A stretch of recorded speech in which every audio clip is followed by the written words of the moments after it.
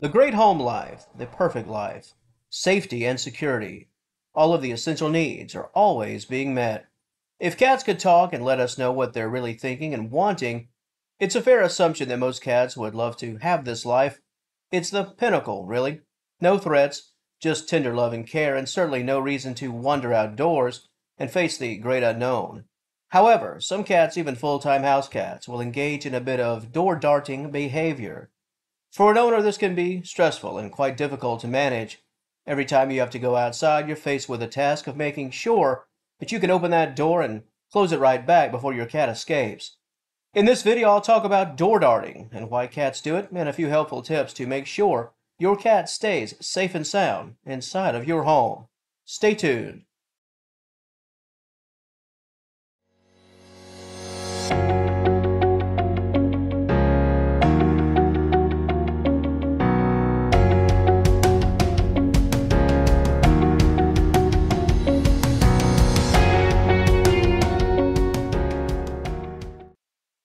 Door darting can be incredibly dangerous, no matter how you look at it. This is especially true if your cat has never been outside and has no idea about life on the other side of your front door. No familiar scents, no familiar hideouts. Door darting of this nature can strike fear into the heart of any owner because the cat has no reference points.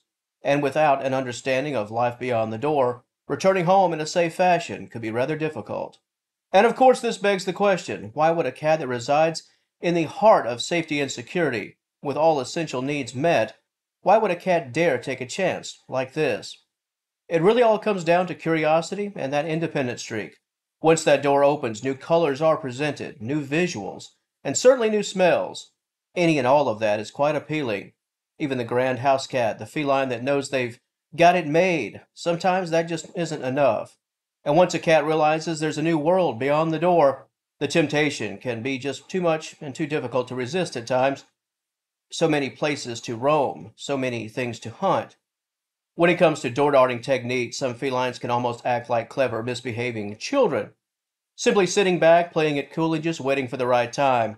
Once a cat has seen you come and go, and the curiosity is piqued, and a decision has been made, the cat could very well just take it easy for a while, act a bit unassuming, and just wait for the next chance, the right chance. Thus the name door darting. It can happen in a flash. The next time you take out some trash, the next time a guest comes over, any type of activity where the door is open, perhaps for a second or two longer than normal, boom, your cat is gone. If you have to wait at the door for any reason, a door darting cat will view this as a wonderful opportunity to bolt into the fresh air of this new world. And of course, for all the mad dash types, other cats are a bit trickier with how they operate. Perhaps not running right past you in a blatant flash, but rather stepping out in a subtle fashion, even to the point where your cat could be gone and you'd not even realize it until several minutes later, even half an hour or more. Depending on what's going on in your day, sadly, your cat could be gone for an extended period of time, and it would only finally come to your attention when the pet wasn't present for, say, mealtime, a play session, a petting session, what have you. It's all extremely dangerous because if your cat slips out and you don't know it, that's time you can't get back with respect to a potential search. And even if your cat wanted to come home, you wouldn't be there and the door would be closed. Door darting is very serious and it can prove fatal. For a human comparison, let's just go ahead and say it. This would be like a child just walking away from home. That's incredibly scary. It's an incredibly scary thought. And a cat with no reference points is a stranger in a strange land. The dangers are virtually endless, and a cat that's just left to live off the land and act on instincts, that's dangerous. This could be tough, especially for an adult cat who's never really had to rough it, let's say, in the wild. The good life, years spent in the house, that can take an edge off of a feline, meaning that a cat that all of a sudden is placed in the middle of the great outdoors, those instincts aren't as sharp, and the environment certainly isn't as friendly. The longer a feline lives indoors with a loving family, the more difficult it becomes for them to suddenly find themselves out on the streets and all alone.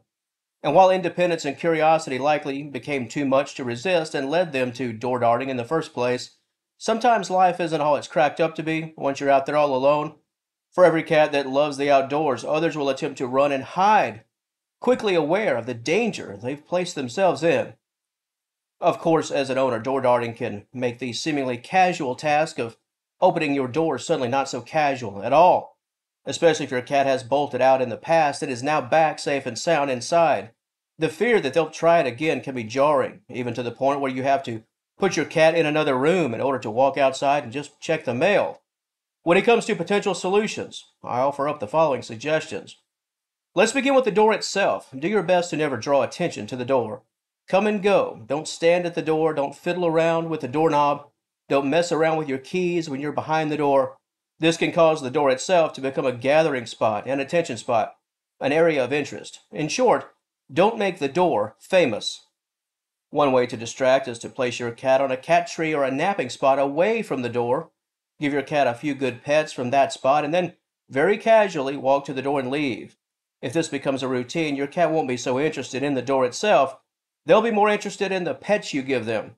It's all about positive redirection, which is something I've mentioned quite a bit on this channel. And oh yeah, those cat treats. Add a few to your cat's little nesting spot away from the door. They'll be too busy snacking to care about you leaving. At least that's the goal. Commit this to routine and see how it goes. Another tip, and this is for coming inside, hey, simply place something in front of the door that makes it very difficult for your cat to dance right by you. Place something right outside the door and almost use it like a shield and while this could seem silly and crude, hey, you've got to do what you've got to do, right? This can be a good way to keep your cat at bay until that positive training has kicked in. And finally, in addition to placing your cat in another room, which is something I hinted at earlier, simply find another way out. Do what you have to do to get outside and keep your cat safe. Do you have to use the front door each and every time? Can you go out the side door, close it, and then access your garage, for example, that way? If you can't exit out a door that doesn't directly lead to the great outdoors, take it. Sure, it might take an extra 20 seconds, but it's worth it, especially if you have an eager, door darting feline on your hands. To the audience of Senior Cat Wellness, any door darting cats that you're struggling to reel in right now? Are your cats simply too intrigued by life outside? They just can't seem to kick that curiosity bug? If you have a story to share about your cat, and even better, if you have a story to share that involves successful tips on how to correct this issue, please let me know down in the comments section below. Any positive and helpful suggestions could help others who are in the midst of the exact same situation. You should never be afraid for your cat each and every time you open your door. You should never have to back up facing your living room in order to go outside. Door darting is a very serious issue, and it's a big win once you're able to get it under control. To everyone dealing with this problem right now, I wish you all the very best and do whatever you need to do in order to keep your cat safe. If you enjoyed this content, please give the video a like and subscribe to the channel. I'd love to have you as a member of the Senior Cat Wellness family. And until next time, thank you so very much for watching, and I will talk to you later.